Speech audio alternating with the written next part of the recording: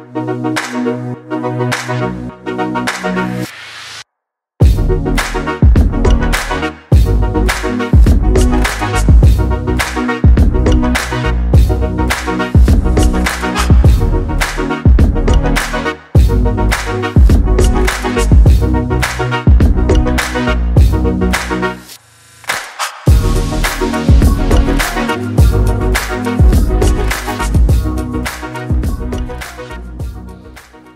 back, ladies and gentlemen, to Deep Thoughts.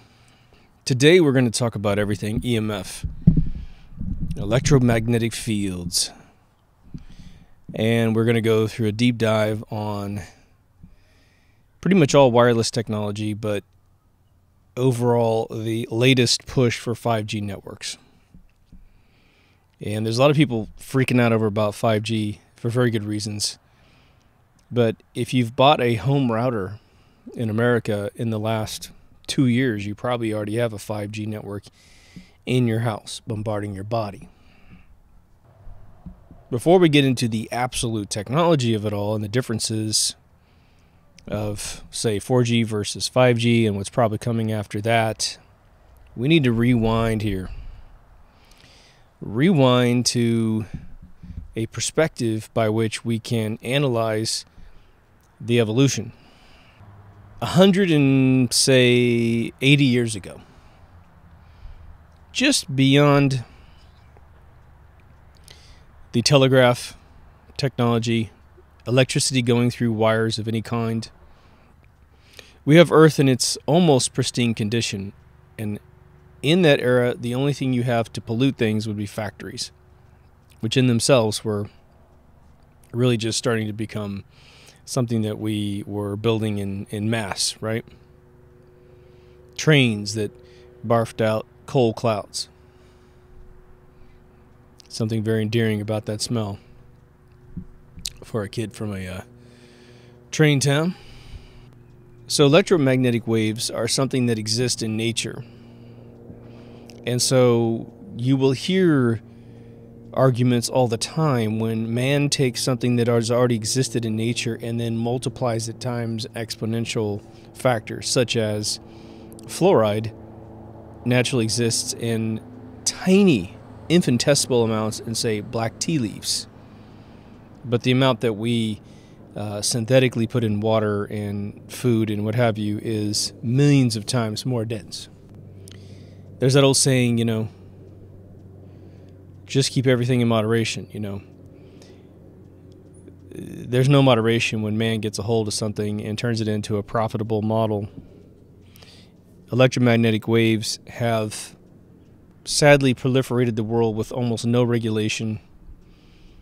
The gentleman, Nikola Tesla, who really was the first commercial engineer of this technology, never lived long enough to see it come into fruition within his lifetime, and especially not in a way that he could have laid down some research to say, this is the way you can use it to not hurt yourself, and this is the way you can use it to immediately get cancer. And I have to say, for those of you like myself who are big giant Tesla fans, he wasn't a god, right? He didn't have everything researched. He would sit in a room with amazing lightning around his body, and there's the famous Paris uh, World World's Fair, where apparently he encapsulated himself in plasma energy.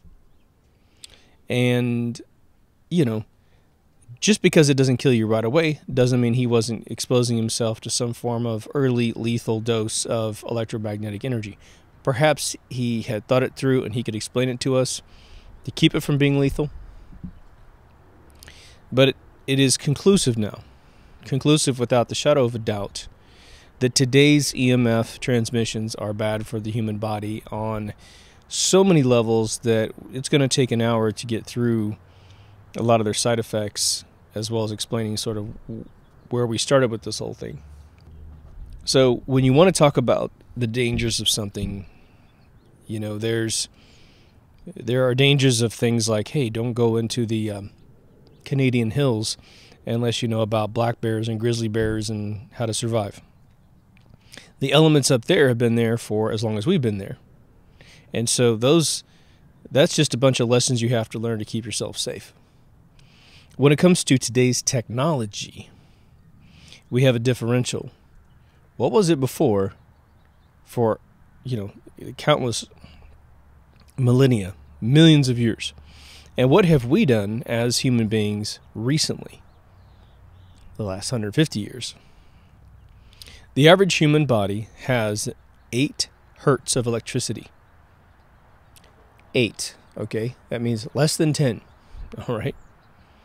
Your average 5G router in your house is operating at 10 billion hertz. Okay, we're going to get into all the medical uh, sort of atomic understanding of why this messes with your body because I don't hear that a lot and I don't know why because it's not that difficult for people to understand. It's sort of like they either the person talking doesn't understand it or they think you're an idiot and um, hopefully neither is true. The Earth during an, a lightning storm. If you were to uh, measure the average hertz that you're experiencing, I have read it to be around 32 hertz. It's about 4x of the human body. And that's during a real exacerbated moment. The hertz of the earth on an average day, below 8 hertz. If you're just in a nice, quiet area, especially with a lot of water, there's no storms going on, there's no volcanic eruptions going on, you're on top of a aqua ravine, like the Egyptians used to build their pyramids on top of. You hear me say the word ecosystem a lot on this show, almost at nausea, right? And that is because in my brain, I think it's becoming a more popular word for me to discern what's going on and what we are doing here. Health is keeping an ecosystem healthy, right? When you get up in the morning and you shower and you eat and you go to work and you do your day and you come home and you take care of whatever responsibilities you have and then you get tired and you go to bed and it repeats that's your ecosystem of your life. And the more you base it on tried and true techniques the less you have any strife in your life and you get everything that you want. In the ecosystem of, of the earth we're talking about an ecosystem of survivability.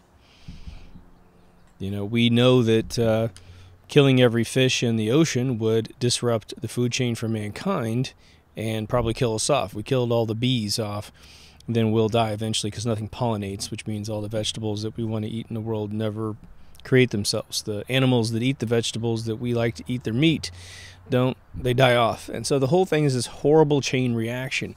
And so the EMF problem penetrates absolutely every element of life on Earth.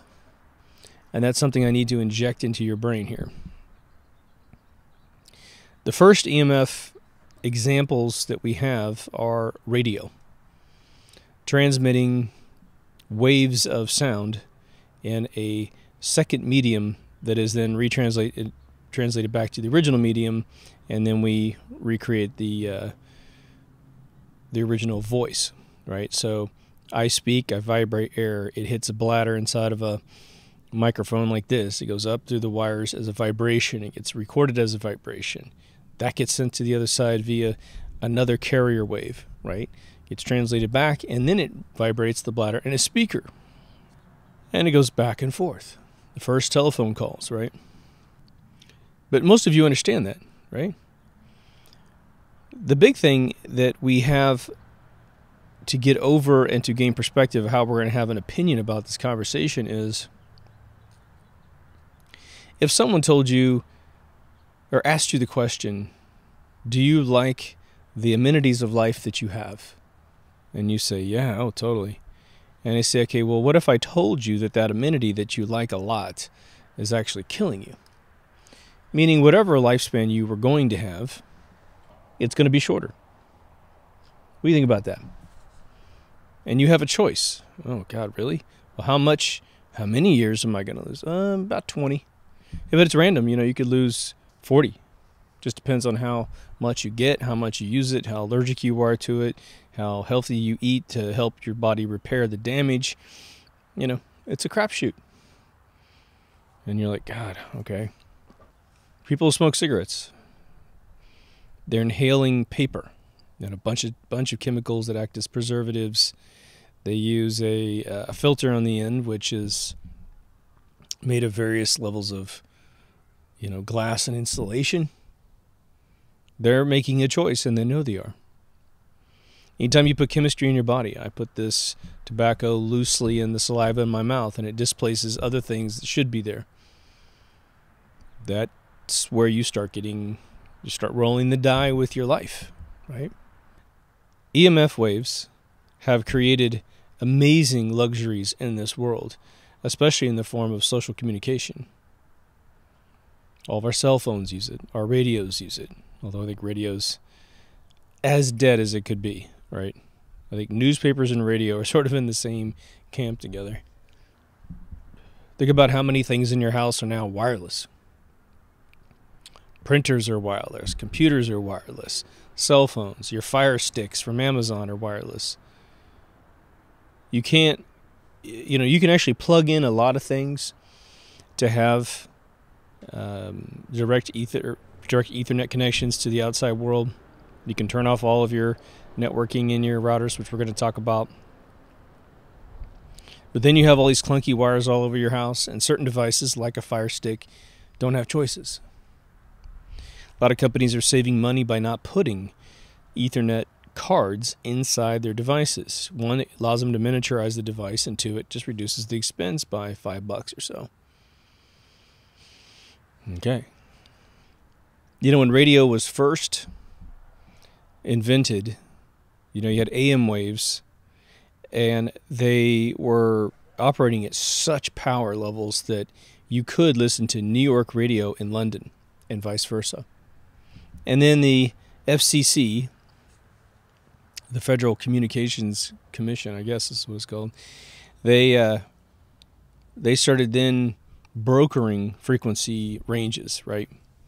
And for those of you who don't uh, know what that means, it just means that when you were to tune your radio, they sell every single piece of real estate within the frequency range that they have. So AM sells it in the low bands, FM sells it in the high bands, now, the human body runs on electricity. Obviously, we always talk about the Matrix reference where someone figured that out and created a brilliant little piece of science fiction around it. We don't create a lot, but we created enough, a little bit to keep us going. We talk about the electric sig- electrical signals in our bodies. Keeps us going. Just the minute level of electricity that we harvest is the difference in keeping us from being a purely mechanical device. But understanding how your body is is held together and what makes a, a human cell procreate because there's two different types of cells. You have your neuron cells in your brain and you have all your little suitcase cells that are doing the mitosis dividing that you always see on the microscope. Understanding your chromosomes understanding that it's 50% approximately protein patterns and 50% double helix nucleic acid chains as long as you understand those basic pieces, and we're going to go through a full review so you understand how this stuff is actually really affecting you. Because it's one thing to come into your buddies and your family and go, oh, you know, the 5G thing is absolutely insane. They're like, what are you talking about? What do you know about this kind of stuff? And if you listen to me, it'll allow you to laser focus your minimum amount of time to research this stuff, and you'll your brain will just pop if you haven't heard of this stuff. Now, the just a little bit of background on myself. Outside of being a very inquisitive guy in general, my physics teacher's wife died of cancer. And what that did was that caused him to cannibalize eh, my phys- physics class with him and my radio, uh, what is it? No, sound waves and astronomy class that I took from him. And he always talked about how radiation affects the human body. And he would dispel myths. It was really funny. We had tanning booths in town. And tanning booths are always, uh, especially back in the 80s, there's still people that hang on to these uh, sort of false rumors about the machines and that they said, you know, hey, this causes cancer. And of course, dermatology was popping out of the late 70s, early 80s, where they were essentially inventing reasons why you needed to use them. And, you know, it's still just a complete charade to this day. But we'll get into that in a different episode. but he would he would literally put up all of the uh, light spectrum. Uh, he put he draw a line on the board and put up all light spectrums of sunlight and devices, X-rays, and where these tanning beds would go. And he'd prove to you on a, on a board. He's like, look, there's no major problem. He says, you know, just don't go um, eight hours a day. But what that what he did was he in, he taught me how radiation affects DNA. He taught us how nuclear fallout, if you have an isotope that is floating through the air and you ingest it, how it it finds its way into some of your more nooks and crannies where iodine can also fill up those nooks and crannies and be a benign substance. You know, when you take iodine, you block radioactive isotopes from taking uh, root in your body, right? Only bummer is you have to take it every day. Whereas an isotope gets in you and it's pretty much in there for the rest of your life. But what's interesting, other than the sun, okay, which has its own properties, which is uh, 99.9% good for you, right? I get out here and you can see the sun on my head. The sun right now is penetrating my skull and it's got my pituitary gland creating vitamin D, which is going to keep me much more healthy than if I sat inside all the day because it's cold outside. In Russia, they in the northern hemisphere of Russia, they actually take little kids and expose them to tanning machines to simulate the frequency of light that makes the pituitary gland go go uh, uh, fire, and so these kids don't get jaundice, you know, get yellow, and get sick in general.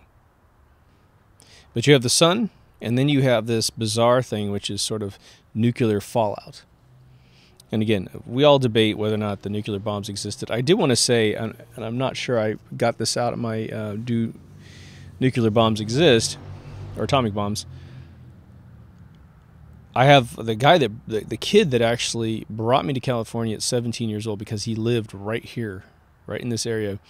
His father witnessed, you know, nuclear bombs being blown up in Bikini Island, and so, you know, I have a like I, at least I had. He's passed away now. A first degree contact of a man who watched several of them go off. Now, whether it was atomic or whether or not it was just some crazy dynamite ship. I don't know. But with EMF, we have a complete, we have a third category of radiation. It's a man made product that's now broadcast into the atmosphere. And what's interesting about it is, you know, if I smoke this cigar in my backyard and you're not within 20 feet of me, let's even make it 100 feet of me, there's a radius here, then you're completely safe. By the time this particulate diffuses into the atmosphere. One, uh, the smoke tends to go up, and so it's over your head by the time you would ever ingest it within 100 feet. But it's sort of a proprietary thing. I'm hurting myself if I'm hurting anyone at all. Okay.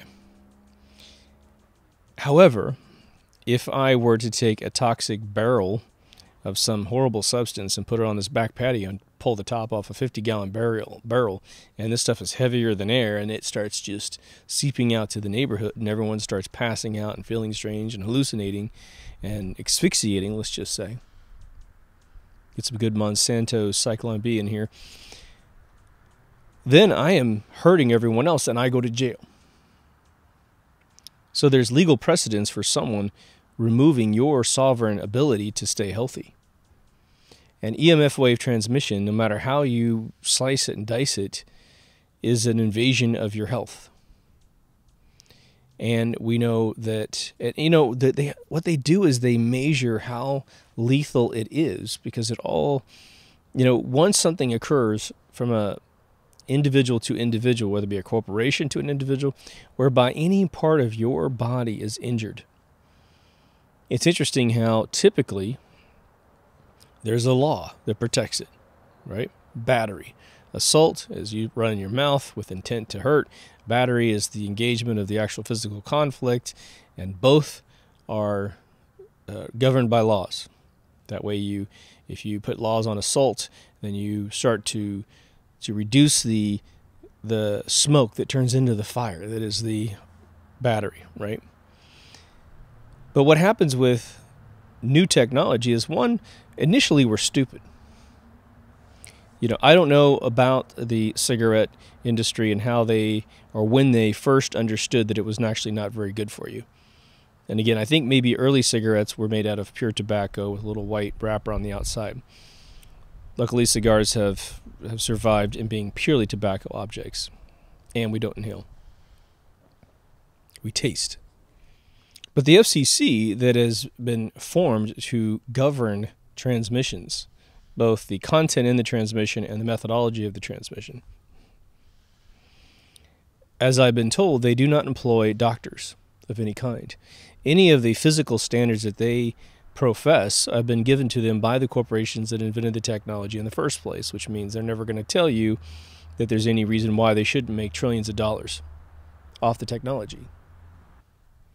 So we're not protected by these organizations. The FDA, maybe during Trump's administration, will get a little bit better, but the FDA is bought off by the food and drug uh, pharmacy companies. You know, they are there to make the public feel comfortable with whatever the big corporations are selling. The EPA, they don't protect us. They don't protect us. The only thing that they want to do is forbid, uh, you know, outrageous problems in health issues, right? They used to be good, and now they got corrupted. The best way to understand EMF is to think of a bullet splicing something in half. And this is how nuclear radiation hurts you, and this is how sun radiation can hurt you. Okay. And again, for those of you who believe that being in the sun is bad for you, uh, you know, there's some uh, some bridges we can sell you. There's some uh, was it topsoil we can sell you in Nice. But the extreme of all things is bad for you the way that this these waves of energy travel is through the utter shock and oscillation of the ethereal winds that exist in the world. Okay? There's a medium that carries all things. And again, you got to be careful getting into Einstein, the um, the wife beater plagiarist, who said there is no medium known as ether. You got to for that reason alone, just don't listen to the guy. Okay? Undo all the stuff you've ever learned from that dude. It's all mathematical conception stuff and not reality. Okay? The stuff that he has accurately predicted is based on a reclassification of ethereal particles, just so you know. So it's not that he didn't plagiarize a bunch of uh, people in Europe, these Aryan Germans and French people who invented everything that he invented. Okay and then he just denied their patents and then stole it and republished it, right? So we're gonna we're gonna absolutely skewer and barbecue Einstein before this season's over. But there is so much corruption about that guy that I'm gonna have to create a cheat sheet. And I've only used that twice in any of the uh, 250 episodes where I'm going to have to post it right here in front of me like a teleprompter to keep track of the dozens of things that are so screwed up with this guy. But back to our show. When these waves of energy are transmitted from point A to point B, there's a frequency, which means of a sine cosine wave. We measure those frequencies in length. Okay. For instance, those of you who are a little bit older who used to listen to AM versus FM, and you have to travel through a tunnel, there's an AM wave can go into a tunnel and bounce around a lot better than an FM wave. FM wave, you listening to KROQ here in LA, you go through a Pasadena tunnel, and boom, it's gone. Come out the other side, it's there. You listen to some of these Latin radio stations, you can go right through the tunnel, and it'll get a little fuzzy directly in the center, but then you come out and it's okay. And you never lose complete earshot of the song. It's interesting because of the length of the wave all of these generations of technologies are increasing the frequency of the waves. And this creates more gigahertz that our bodies then have to tolerate and repair from. Okay? The major low hanging fruit hurdle of any EMF wave to the human body goes as follows. There's more to it. But your double helixes, those little ladders that twist inside your chromosomes, which again are half of what is in there. they can be broken. And they usually call it, they usually categorize it as a single or double splitting toxicity, which means the following. If you were to take uh, a DNA strand and you break it in half, okay, because you shot it with the bullet, sort of a photon reaction from the sun, uh, an electromagnetic wave from a broadcast station or your cell phone, or you have a radioactive isotope in your body and it is emitting. It's so heavy. It's you know it's over 230 uh, atomic weight. It can't hang on to its its electron cloud because it's so complex. It's just banging into each other and say knock a little electron out here and electron out there. It starts penetrating your cells. It goes through the wall, it goes into the nucleus, and it hits the chromosomes and it hits the DNA. It hits the nucleic acid chain most of the time because nucleic acid chains are brilliant, right? Certain letters cannot connect to other letters, all right? And so it can reconnect most of the time. And if it if it doesn't reconnect, what ends up happening is the immune system comes in and goes, "Oh, we'll get rid of that guy because he's not a complete cell. He's some weird broken thing." And boom, your cell collects waste just like a human body and excretes it and then it repairs because it has the protein patterns on the other side of the chromosome telling it, oh yeah, that we need to put the, you know, the chains back together, create a new one, split, and so uh, the DNA splits into two RNAs, and then synthetically it completes the nucleic acids on the other side of the RNA, and you have two ladders instead of one. That's how you procreate. Okay. Neurological cells are different. That is the basis for why this stuff starts causing us problems the closer you are to an electromagnetic field, and you need to understand that cell phones are these devices.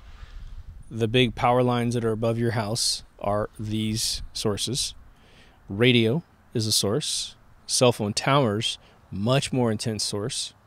Your wireless routers in your house are a source. The wireless cards in your computers are a source. The power supplies in your laptops that sit on your lap are a source. And so this is where we get it. We have the uh, the smart meters. I have one right there about 10 feet from where I'm sitting. Twice a day, that device broadcasts back to the network how much electricity I've used today. Okay. It's an amazing thing to think about the difference between today and what it was like again about 180 years ago. I say 180 because that gets rid of everything we were sitting in a world with approximately anywhere from 8 hertz to 35 hertz. No more than that. Maybe if we got hit by a lightning bolt, it was much different. But to save that weird experience, we lived in almost no natural radiation of any kind, save the sun, right? Which is not operating in billions of hertz. And now what we have done is shamelessly polluted our airwaves with amazing levels. And you know, what I had just named off in terms of devices is what you are aware of. You know, there's this over use of the uh, device HAARP, which is this crazy antenna that the military uses to do all kinds of wild um, ion ionosphere experiments. And hey, they could be nailing Los Angeles with a, a death ray. They could and it's not like everyone fries immediately. It's just, wow, those people are going to die in 10 years. But what's going to happen with 5G is going to be mind blowing. Okay. Absolutely mind blowing. But we're going to have to make a decision about the amenities of life versus the value of life. If someone took away your cell phone and said, These things are deadly, we don't want you to have one and we're no longer going to allow the sale of a wireless router for your house. And because we don't have any cell phones, we don't need cell towers. We're getting rid of those too. How badly is that going to impact your life? Really? I grew up in the golden age of America, at least the last stage of it, with none of that stuff. None of that stuff at all. There was no wireless anything. The only thing we had was radio. FM, and AM. That was about it. The military has radar, But usually, radar is broadcast in a very specific direction. And so, unless you're flying and in a war, you're not going to get any of that stuff. When you get into a plane, you do go up into the atmosphere enough, 35,000 feet plus, and you lose a lot of the natural protection of the atmosphere. And so you do get irradiated, like I always say. And again, I've, I've been told that flying from Los Angeles to Dallas, or sorry, not Dallas. Well, I guess Dallas too. Uh, well, Denver, Colorado was the example I heard. You get basically the same amount of exposure that you would get in a chest X-ray, and there's a limited number of chest X-rays you're supposed to ever get in your lifetime, unless you die of cancer. Your body can repair from cancer, so go see my episode on cancer if you want to detoxify yourself. Go see the episode on toxicity or toxins to get yourself detoxed and use cancer episode to get yourself repaired. It doesn't matter if you have cancer. I mean, everyone has a cancerous cell, okay? So you do both of those, your brain's going to get better, your health is going to get better, you will extend your life, all right? But the internet has given us the sense that we have to have these things. Well, I have to be able to post a picture of myself to somehow prove to the world that doesn't give a shit whether I live or die that I have I'm living a better life than they are, even though I'm not. And the reason why I want to post that is because I'm actually really not enjoying my life in most cases, right? You want 500 virtual friends instead of five real friends. And this is what we're fighting for. We're fighting to keep this crap, this swill that does nothing more than degrade our ability to communicate with each other when we actually meet a real human being in real life if you're an expert poster, you're the most witty uh, replier on any of the social media elements, you're able to take a photograph to make yourself look like you live on a different planet of pure bliss. But it's all a facade. And you meet someone in real life and you're like, you can't talk to them because you don't know how to, because you never developed any skills in reality. This is what we're fighting for the virtual proliferation of BS. I know there's a lot of you interested in what, what's going to be happening with 5G. I will say to you that again, most of us have a 5G router in America in our house. So you're already being exposed to 5G, but what's going to take place is sort of a million X exposure to 5G. Now, there are varying levels of services the LTE, the LTA, uh, 4G stuff. Okay as I have researched it, most of the carriers, cell phone carriers that are creating this this craziness, are sort of lying about how much data you actually have access to. There's these theoretical scientific experiments that say, oh, this new technology goes this fast. Doesn't really matter what the real numbers are because you are being exposed to it, whether or not your device is smart enough to grab the data. You're still being broadcast at all day long. So here are some of the illnesses that you get of being exposed to EMF waves. Uh, leukemia is being one of the most major sources of illness based on EMF exposure. There's a big giant antenna in San Francisco. Uh, it looks like a the largest power tower you've ever seen in your life. And the rates, as I've had it uh, communicated to me by a scientist who is an EMF expert, who's also a biologist, he said that the the amount of leukemia of the residents by this tower is 93 times higher at the base than normal people who live out in Montana. And the interesting thing is the radius away from this tower, it reduces exponentially uh, the further away you are from this tower. And yet, California, the big, you know, liberal state that's trying to make sure no one's feelings are hurt, look completely the other way while these people are dying 10, 20, 30 years before they're supposed to. And children and elderly people are the two most susceptible human age ranges to die from this because a child's immune system isn't as as intense as it could be. It's just the volume of you know cells in your body your white cells your t cells that will fight and repair things so when you're teeny tiny you have less repair coming into a particular unified force of energy right so the tower is not giving the child less energy i mean yes they are a smaller target so getting the same amount of per exposure per capita as a as an adult, but they don't have the strength to to fight it. Elderly people, it's the inverse. They're dying. They're slowly getting to the end of their life, and so they're dying before their time. You have to understand the globalists of this world toast champagne to these statistics. Oh my God, we are stopping the fertility of human beings, and we are killing their their their newborns as soon as possible. And we don't want smart people to exist. So I love the fact this is like David Rockefeller kind of talking. They love the fact that Silicon Valley's got a record level of autism due to these this pseudo intellectual devotion to I'm going to make sure my kid has no problems. Uh, vaccinations, immunizations, get their shots, right? But they're the first early adopters to all this EMF technology as well. The second thing is just pure fertility problems. A lot of young men put the cell phones either on their hips or in their pockets. And when they do that, the their testes, their testicles, are very close to this EMF wave. The EMF waves penetrate the complex DNA of a testicle and kill the sperm. And it's been tested several times. You get a, a, young man that has had no exposure to EMF in his testicle range, they take a sperm sample, high sperm count.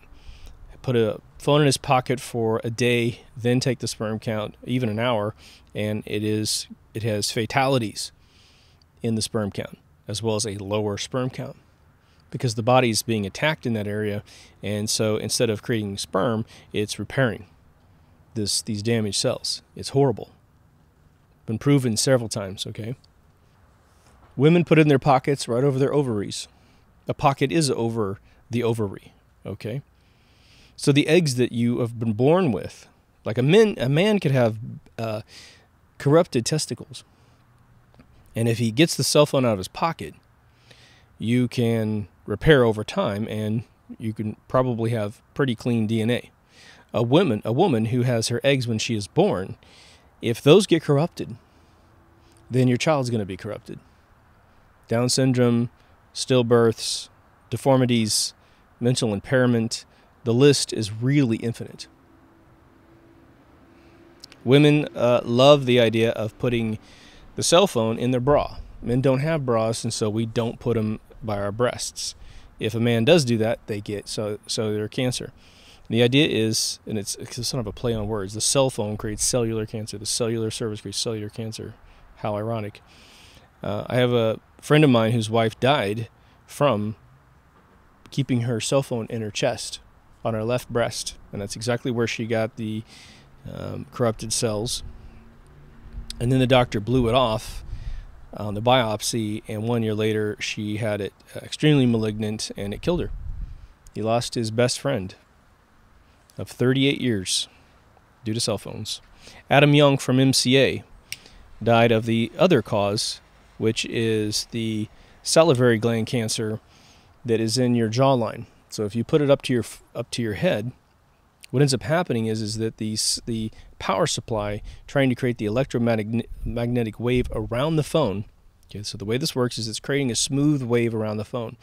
As the smooth wave bumps into the cellular tower wave, the smooth wave gets disrupted in a frequency.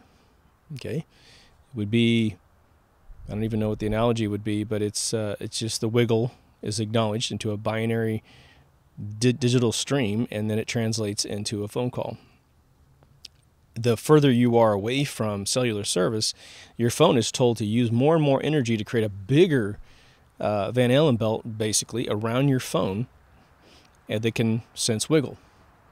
And it's looking for the from the emission of a wave to the absorption of the wave. When the absorption gets interrupted, that's where you get the digital binary data. Right? It's three bits on, off, nothing. It boils the mitochondria in your cells. So you know when you look at a cell, the little round little suitcase with the nucleus in the center, all the stuff in the middle, the kind of carrier soup in the middle is mitochondria. When that boils due to utter friction of frequencies, it starts to literally agitate and rip apart the DNA that's inside your cell. You ever take a hot coal and put it in water and you hear it sizzle? What you are hearing is the slowing down of extremely fast moving atomic energy, thermalization retards back into ice. You know, it becomes still and inert.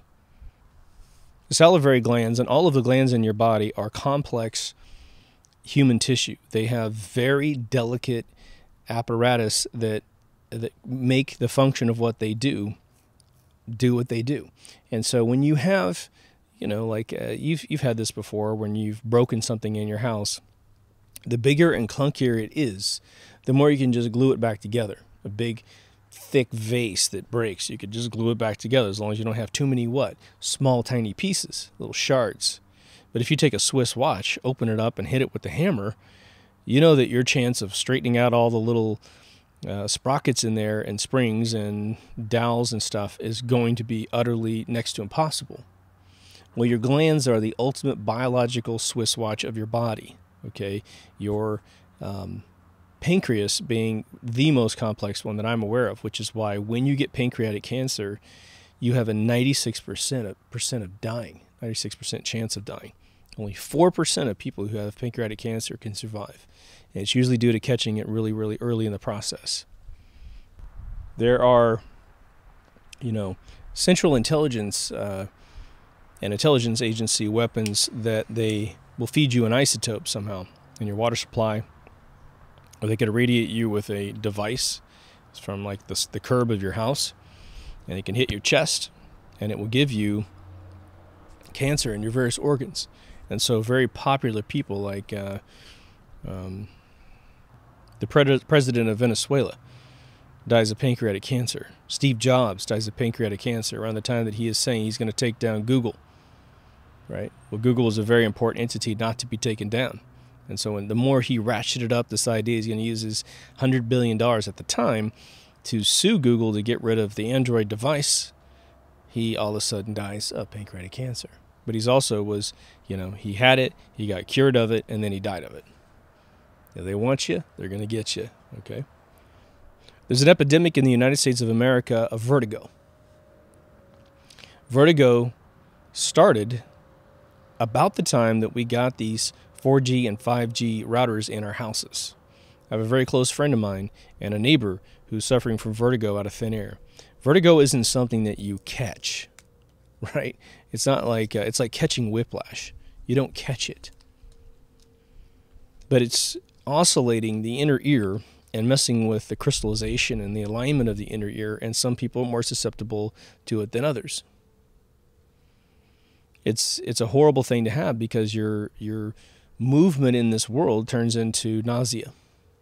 So if you're suffering from some acute, recently acquired, and I would say over the last five years, vertigo, you need to consider turning off your wireless router technology and then use your router as a wire technology and wire up your house and just see if that helps. Shut off your cell phone at night. Put it in airplane mode. It still acts like an alarm clock even though it's in the airplane mode.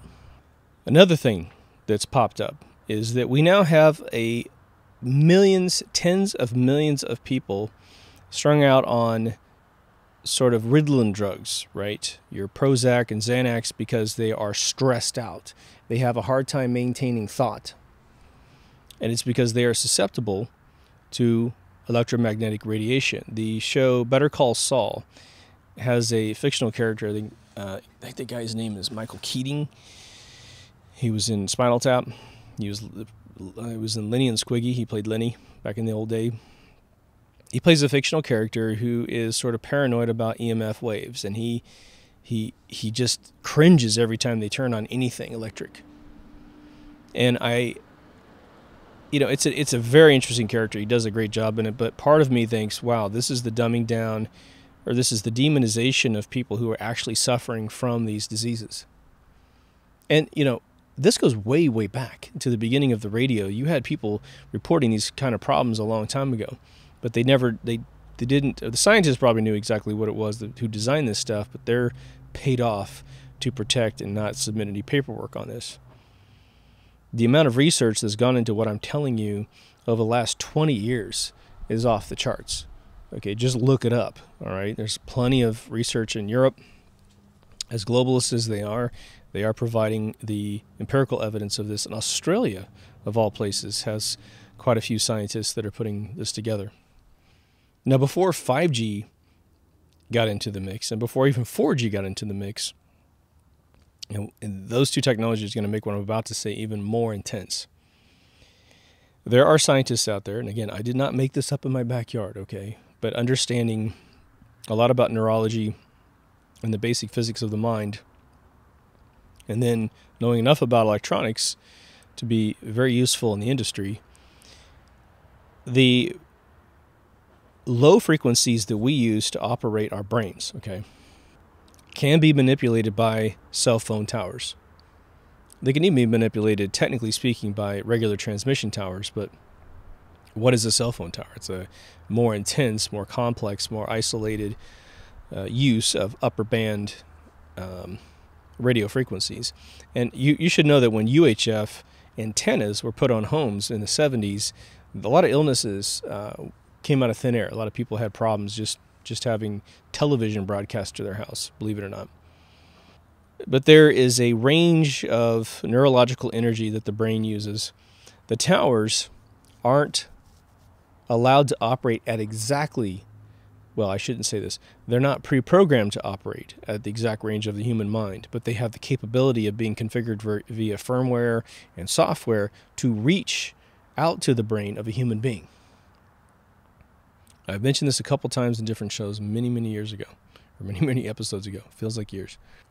So imagine that they are going to create a 911 2.0 and they have gathered 20 years of evidence of how we discovered that it was an inside job. And now they're hedging all the bets and all the risk assessment of us discovering that the new one's going to be one. And again look at all the massacres that they've done that have just they've just gotten worse at it in my opinion. But let's just say there's a separate group putting a lot of money and time into this and the little rogue groups are doing the vegas shootings and that kind of stuff. All right. A 9/11 is created to create terror, right? Well, imagine that they could take all the cell phone towers of various highly dense populated regions and create this terror frequency coming out of cell phone towers.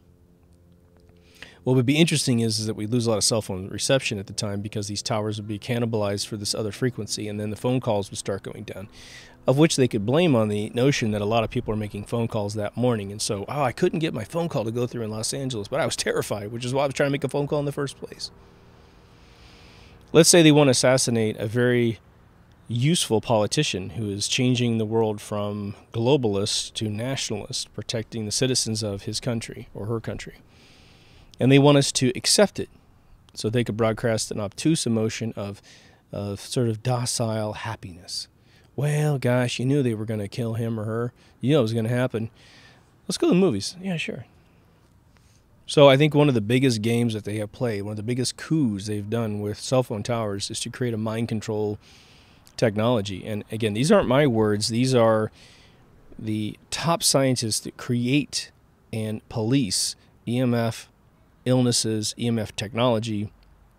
They have the degrees in neurology. They have the degrees in electronics. They are cross uh, pollinating their information between the two groups and writing papers on this. Okay.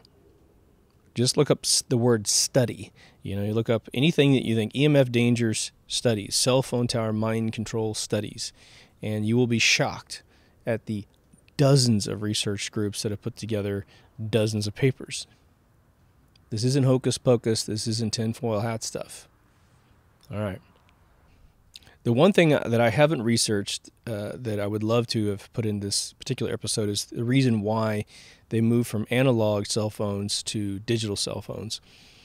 Uh, when I got my first cell phone, I, I think it was 1994, the digital phones were horrible, and the analog phones, the flip phone, uh, Motorola phone, worked perfectly. I had a, um, a timing belt throw in my Mitsubishi Eclipse in 1994, driving down the 101, driving north on the 101 in the Bay Area. And of course, it blew my engine and I had to get towed. Luckily, there was a tow truck right there, pulled me over side of the road, but I had to get towed from there because this guy couldn't stop. And my digital phone couldn't make the phone call. My buddy does his flip phone, boom, it works perfectly.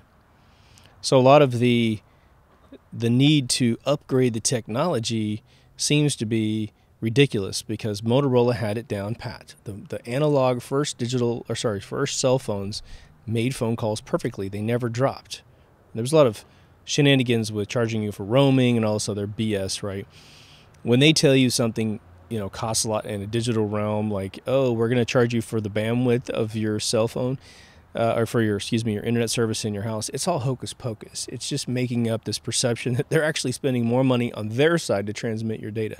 It's complete crap. You know your average power line if if not hit by a plane or something or a car hitting the pole or whatever would probably last you know two or three hundred years without needing to be replaced because they're super thick wires. They have no problem keeping their conductivity active. And so, it, again, it's a joke. Now, there's no need to, in this particular episode to review 3G because 3G is gone. It exists as a absolute throwback technology. So we are sitting in sort of a wide range of 4G services. And again, depending on where you live, you could get 3G 3G quality of data transmission rates uh, and you can get almost up to like they, they rumor it can get up to about 4.5G, you know, closer to the to the 5G promises. But what is happening between the 4G and the 5G is a 10x to 100x multiplication of data transmit rates. And you you know, I'm sure there's some uh, some geekier guys like me listening who want to get in all the bit rates and all that kind of stuff It's really unimportant in this episode. We're really going to be talking about the the pollution of your body with the electromagnetic frequencies that are coming at you. Now, I will say in the 90s, for those of you who remember the old monitors that we bought back in the day, if you wanted a 20 inch monitor, which was a 4 by 3 ratio, it weighed 60 pounds. And the reason why it weighed 60 pounds was twofold. You had your old CRT screen in there, which is made of very thick glass with a gigantic copper wire capacitor on the back that, that fueled and capacitated the electrons necessary to get a phosphate you know, laser to fire to create the screen that you're seeing. And all the pixels glowed in this nice furry kind of star format. They weren't square.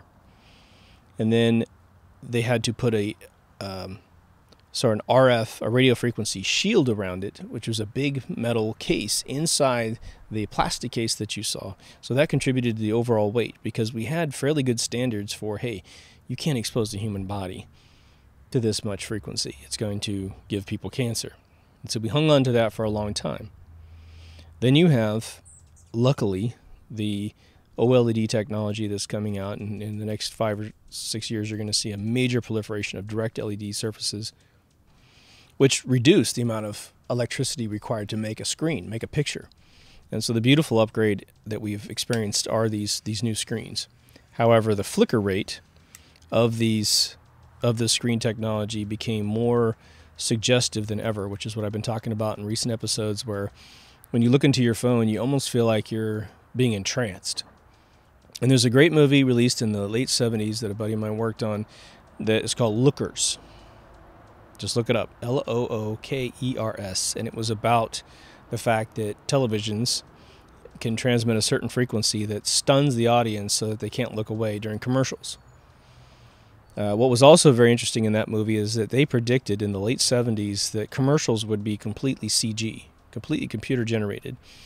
And you see there's this there's a studio in the movie where someone's playing a volleyball game and they're trying to pitch some lifestyle product and it's obviously in the movie real photo real photography of people playing volleyball, but the the way it was narrated in the movie was that it was all CG. And you'll probably see that cannibalized here in the next uh, few years, I'm sure, with the Black Mirror or something like that. But it got down to the point where a guy figured out that this was a cabal, this was a conspiracy to zap people with this this particular frequency that stunned you before you walked away from the commercial, and they would jam the commercial in you. Today they use the sort of shock and awe technique of jacking up the volume to stun you. So the volume makes you go, Ooh, like I was going to go pee, but I'm I'm being traumatized right now by a, a volume jack up, and I'm going to be sitting there staring at least the first five seconds of the commercial, trying to get they're trying to get you hooked to it. It's a very real technique. That's why televisions with smart volume don't work because they don't want it to work. And I, I just will put it out there. My hearing is like bionic, and so for me, when I get into a room where people are being loud or televisions surge in volume, it just it's painful for me to hear that. And I've got plenty of friends that are musicians from you know brass musicians all the way to big you know rock band musicians like real real rockers and they they have blown out their ears from sitting next to Marshall stacks. Or playing trumpets and having other people's trumpets in their ears and they're not wearing any ear protection. And so everyone's kind of slightly deaf. Uh, they also have a lot of tinnitus which is the ringing of the ear. And so they have to use uh, in order to average out the amount of electricity that's being created inside the ear through abuse, which is a, a whiny uh, ring that keeps them from going to sleep. They use televisions at night and play music such that it, it cannibal it, it basically cannibalizes the electricity that's being used as this ringing noise brings down that frequency and has it distributed over white noise, which is why televisions help people with tinnitus go to sleep, right? The frequency length of a 4G, average 4G tower technology is two and a half feet, like I said. The 5G network is half inch to an inch. So it's a very, very high frequency. The immediate problem, which is going to create the immediate next problem, is that anytime you have a tight frequency, you have a much reduced range of that particular antenna technology, of that transmission technology. So if you were to take all the 4G, or uh, forget it, take all of the cell phone towers in the world and switch them over to 5G networks, you would probably, we, we would probably experience about a 95% loss in signal in the world because it's not enough uh, towers to transmit to all the different locations in the world because it's too tight and it can't bounce around a corner. If it hit your neighbor's house, it wouldn't make it into your house because it's such a tight frequency. You can't bounce off things that much because a tight frequency also moves at a faster velocity, as I understand it, right? And so you have these these this this reception problem. So how are they planning on fixing the 5G reception problem? They are planning on putting a 5G tower, which is going to be much smaller. It's about the size of a, a small book. I should say maybe an average book. They're going to put it every two houses in the world. Now, for those of you who have figured out where your cable comes from, you have an average telephone pole. I'm staring at one right now, and it comes through the back. Uh, we don't have alleys between this particular block of homes, and so we have this poles, these poles that go through our backyards between our property lines.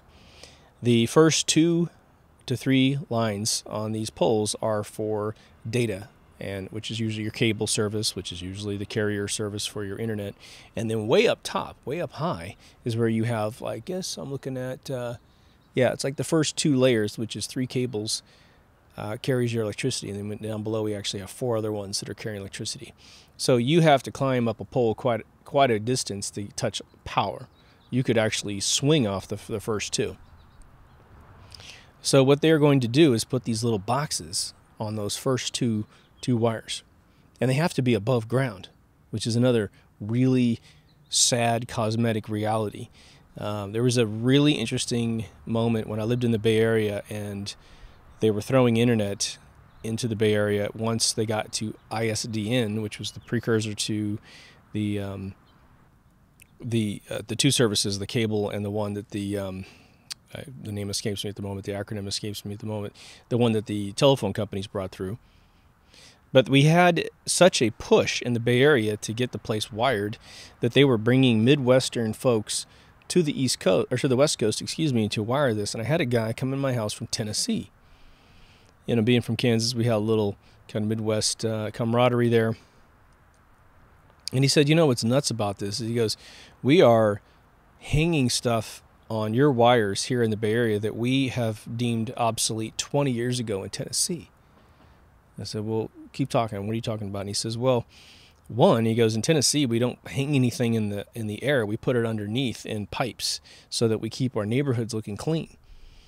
I mean, wow, right? I'm in the Silicon Valley with the ugly, stupid old technology, and you have um, Tennessee doing it right, according to this guy. And his whole thing is, is look, it's way easier to maintain because you reach into the ground. You don't need a big truck to reach up and grab the line and move it around. If someone hits a telephone pole, it doesn't hurt anything with your internet communication, it hurts your power, but nothing else. Very eye opening. So now I want you to imagine the level of um, EMF exposure if we have a little broadcaster every two homes. Now, on average, because it has a short distance of broadcasting, you're not going to be bombarded by um, hundreds of these things at once. You're only going to get broadcast at by a couple of these things. But what's interesting about my 4G router that I have in my house, which is about the same size of what these boxes will be on the wires, I can go across the street to my neighbor, across the cul-de-sac. I don't even know how far that is, probably 200 feet at least. Sit on that patio over there, and I can use my internet in my house. I can drive almost completely down the street before I lose signal. It's amazing, right? So, what are the guarantees? What is the big sale? All right. As I tell you about why this is great, I want you to remember this is us selling ourselves the amenities that we think we need to have. Again, in 1985, what happened? We had no internet that we were having access to. Go to a college and get the internet, but it was always through some wired technology. When you called someone up and they weren't there, you got it basically never did anything. It just kept ringing forever. If you called and someone was on the phone in their house, you got the busy signal. Uh, eventually, they came up with electronic, you know, voicemail, so it could kick over after so many rings. But we survived and we thrived, and we were much more social. We were much more happy. We had a lot more trade skills and talents. One of the biggest talents we had was communicating with other human beings. We didn't go uh, necessarily on a device and worry about news that, that you can't possibly change or affect. We only worried about our small little world.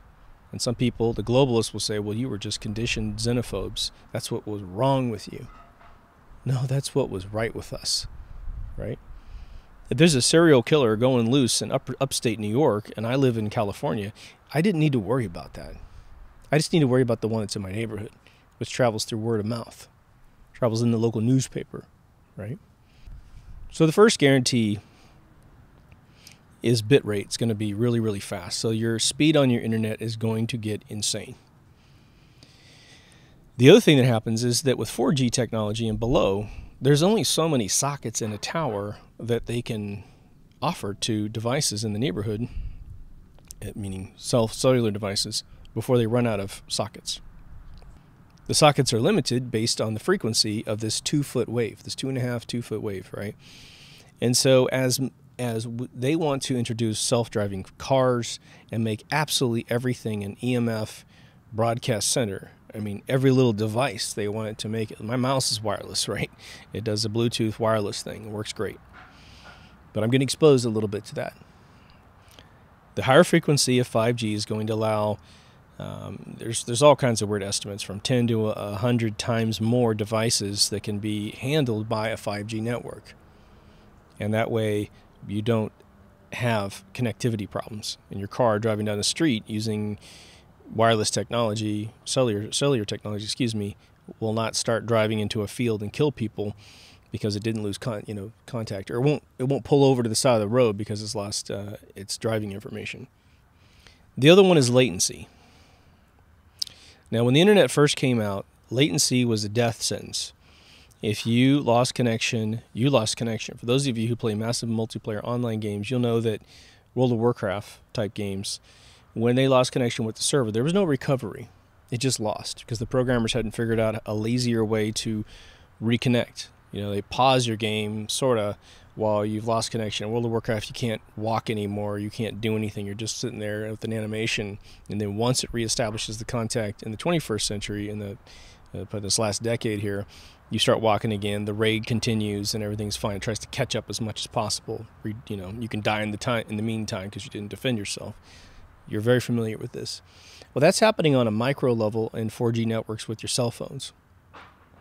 You'll be transmitting a photograph, and it works great in, in one area. You go to this restaurant or the airport, and then you can't get anything to transmit because there's so much EMF wave um, disruptions going on. And again, in airports, there are devices that gag your phones from working in some areas that are more old because they, they have this fake fear that you using a bunch of cell phones on an airplane makes it fall out of the sky. Please.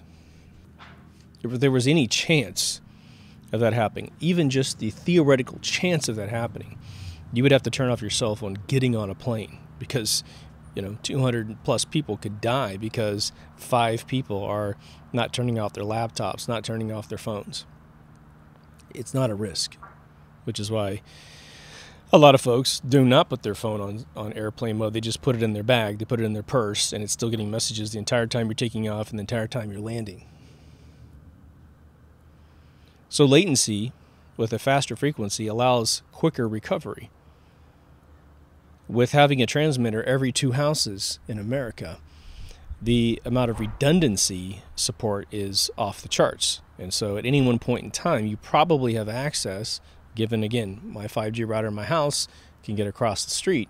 Well, if I'm in the middle of my street and there's a transmitter behind my house and a transmitter behind my neighbor's house, plus my wireless router, plus two or three other boxes that are kind of in loose range to me, where's the latency going to come from? I can talk to a million arteries to the internet.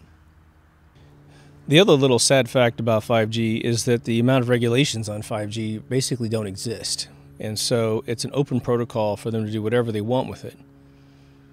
Okay, I want you to refer back to potentially talking to the human mind. It could, and there's no regulations not to do so, despite all the warnings from the scientists that are the experts in this technology and the human mind. Now, for those of you super concerned, we have sort of a tug of war going on in the United States government. I have no idea what's going on in other countries. As I've been told, France, again, is pulled because of the ADD of children and the overall health risks of children. They have in many of the schools in France, and I, I almost can't believe this because France doesn't seem to care about their low sperm counts and all this other stuff. They have supposedly started pulling all cell phone towers out of any reach of a school as well as all the Wi-Fi out of schools, and everything's going wired. Now, I don't know how you tell a bunch of kids to turn their cell phones off when they come on the campus. Cell phones aren't, uh, I believe, very endorsed in any school around the world because kids can sit there forever doing stuff, right? But I know in America, you know, we don't take cell phones away from children when they go through the door of the school. Maybe in some private school, but not in average schools. In America, there was a push. There, ha- there is a push right now from the corporations that are going to make trillions off this technology and the military industrial complex that wants to use it to do all kinds of probably surveillance, but it probably will support a lot of military drones and all kinds of stuff. And again, cell phone towers do not broadcast up, they broadcast level and down. And this is one of the reasons why during 9 11, you know, this idea that uh, all these people are making phone calls, it, it technically should be impossible because the cell phone towers back then uh, weren't even 3G. And so you have a problem being, you know, they weren't at 35,000 feet in most cases, but you would be traveling so quickly that as soon as you made contact with the tower, you would have lost contact with the tower because you're moving so quickly, right? So the idea that these phone calls were made possible doesn't make any sense. And American Airlines finally put repeaters inside their um, jets in 2004 offering a service. And so just keep that in your bag of facts, right? But there's been a, um, a delay. The, corporations in the military industrial complex, as I have read it, okay, wanted 5G to be the standard in 2020. And as I've read it, this has been put on hold for an evaluation. Now, the reality behind this delay is not being communicated publicly uh, in any major way. But it might be that someone at the top, especially with this renewed government that is predominantly prioritized around the people instead of around this these super PACs that are globalists, they may be taking a closer look at the biological implications. I read one report that said that California state is concerned about the health risks of these networks.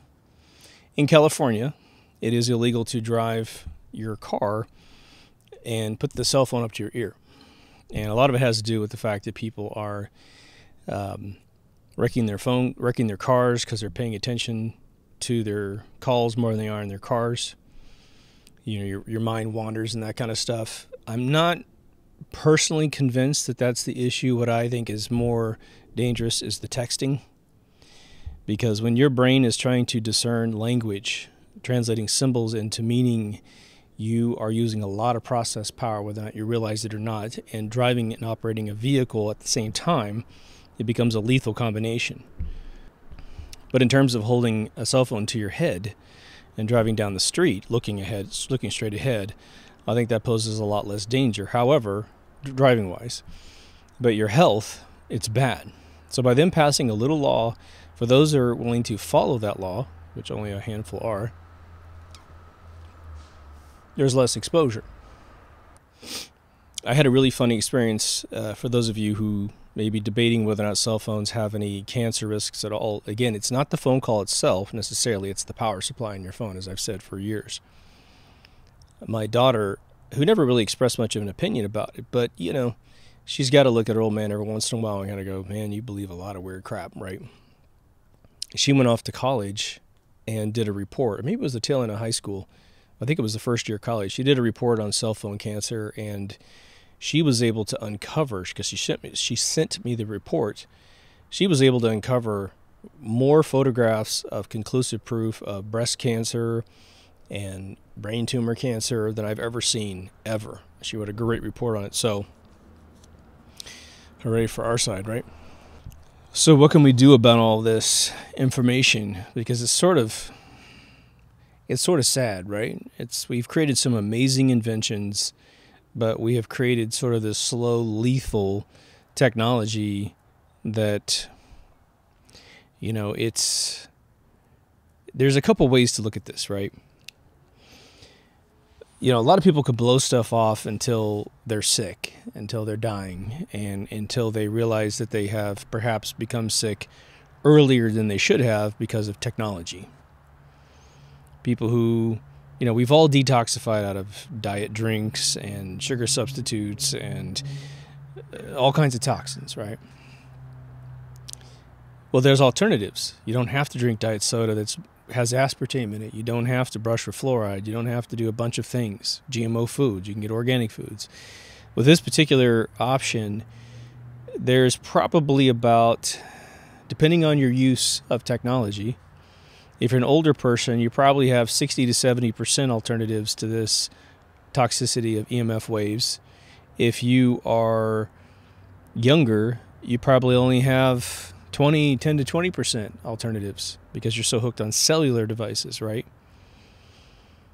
I am unaware of any technology where we plug it into the bottom of our phone and we can tether off of an Ethernet connection, right? Um, there might be a way to route that through your computer. Um, I don't think that's that's what they want to do. The whole idea is they get a kickback from the cellular programs that you sign up for. In some cases. The other thing is that if society goes along with all this technology, which we have as a group, I'm not immune from this, then the the exposure of the technology in your home is not something you can completely control. Now, again, the the meters on the side of your house, uh, again, they're only broadcasting a couple times a day, so probably not the most lethal thing, even though it is definitely broadcasting on that particular frequency. The people in San Francisco who are at the bottom of that tower are getting bombarded second to second. That's why they're 93 times more likely to die of leukemia, as well as other things. The types of cancer you can get is again brain tumors is a big um, byproduct of EMF waves, proven. Thyroid cancer, proven. Salivary gland cancer, proven. Testicular cancer, breast cancer, uh, potentially skin cancer, you know, but it's sort of once you get the insides of your body messed up, the outsides, well, that's a more of a cosmetic thing.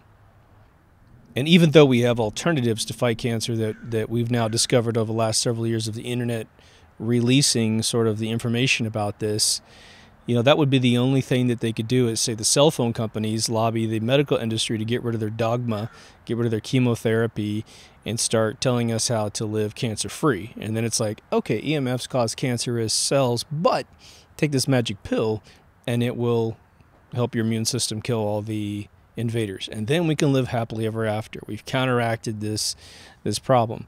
So some of us will have to to do that to stay healthy but your children i think is where it gets really real for people.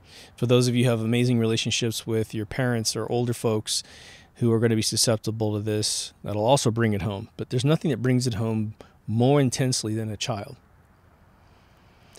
So for my household, for instance, I can probably throw a 50 to 60 foot cable into my office from my router and shut off the wireless capability of my router and simply use the wired and use a router, uh, sorry, a switch to give me more ports. That's what I do on the back of my television is that I use a wire technology to fuel my television's Netflix. There's no wireless coming out of my television. But unless I can tell my television, stop looking for a wireless service, then it's still going to bombard me with its wire cart. Now, outside of cell phones and cell towers, the nice thing about even a cell phone, for instance, there's a certain proximity around the device where it starts to become safe or safer. For instance, a laptop with the power supply, if you put it on your lap, okay, the power supply from the computer and the wireless router, but mostly the power supply, is going to be essentially not good for the cells in your thighs. What's the average distance from a computer you can be? It's really 8 to 10 inches. 8 to 10 inches, and you are pretty much in the safe mode. And so you'd have to sit on a desktop with your laptop so it's away from you, not on your lap. And you know your hands are then in the proximity. But your hands are pretty tough. There's not a lot of complex glandular organs right in your hands. There's none. And so at that point you're attacking your blood cells. You know leukemia is a blood disease and so you have to take into account how that works now again wires are a super pain in the butt holding the cell phone to your head well as i've said several times on the show i use an apple headset on my Android phone because the quality is higher on an Android headset, or excuse me, on an Apple headset than any other technology I've been able to find. There's people that use the Bluetooth earpieces. It's a lot less EMF waves than putting the cell phone to your ear, but it does. It's so close, it's right on top of your cellular tissue, and you have all kinds of very important things in your head and your ears. And so it might lead to tinnitus might be an extra way to injure your inner ear and all the mechanisms that translate vibration into electricity. So, going wire based is probably the very best thing you could do for your immediate home. Uh, I recently was gifted a Amazon Fire Stick. And so the problem with the Fire Stick is that as long as it's powered up, it needs a wireless connection in order to work. There is no Ethernet card in the back of this thing. So if I want to use that particular service, I have to unplug it if I'm not going to use it and turn the power off. I could leave it plugged in, but I could pull the power off or just unplug it from the ground. Maybe I have a different power strip down there to get rid of that. But then I'm going to have to visit my router firmware through the internet browser and tell it to turn on the wireless connection for that particular viewing experience. I'm willing to do that. I'm willing to do that. After this recent research, I'm willing to do that. You know, there's a lot of talk about high tension towers carrying power by your house. Well, you know, because there is so much power going through those wires, you are getting bombarded in your home with a light, constant stream of electrons. And that is, uh, or electromagnetic waves, I should say, technically speaking. I've known friends of mine that live next to them. They got houses for cheaper because they live next to them, and they've had issues with birth defects, very severe ones that took the life of their children within two years. You know, it's hard to say whether or not the, there's a connection there. Could have been that the mom, before we knew any of this stuff, had the phone in her pocket and she messed up a particular egg. So, you know, it's possible. This particular family went on and had another child and had a perfectly normal child. But again, we, when you have a, a field of energy that is messing with the brain's ability to communicate with itself. And people are going into ADD, they're having memory loss issues, they're having just basically continuous thought problems. How do you how are you going to find the culprit that's making that happen besides changing the, inside of your house to see if everyone sleeps a little bit better? So what I'm committed to do is wire my house completely and the only bummer that's happening here is that the if I want to watch media on my phone, I don't have infinite minutes because most carriers don't have it, and if they do, they throttle you anyway. So I may need to switch to a carrier that has infinite minutes, and then at night put my phone into well, put this way: anytime I'm not uh, accessing heavy media or I'm asleep, I'll put it into airplane mode to keep the wireless router turned off in the front of my house. Now I keep my wireless router on the other side of my home. What's amazing is, is I'm able to get 25 megs per second in my office that's 50 feet away. And I'm able to get again a weak signal, but it's fairly decent across the street. So there's a lot of different routers. I could have a neighbor that puts a router on the other side of uh, the the not adjoining wall, but you know it's a wall. It's probably 15 feet away from my wall, and so I'm getting bombarded by their router. It just depends. So this is a very complex issue to get rid of. I will say that probably getting the router in your house disabled is going to greatly reduce, and I mean maybe in the um, you know just as a hunch feeling maybe 60 to 80 percent of the exposure that you have to wireless technology in your home Again, your meter, I did the research on that two times a day, you're okay. You know, it'd be like kind of if you're standing right next to it, you're probably getting the same kind of radiation you get at a body scanner in an airport.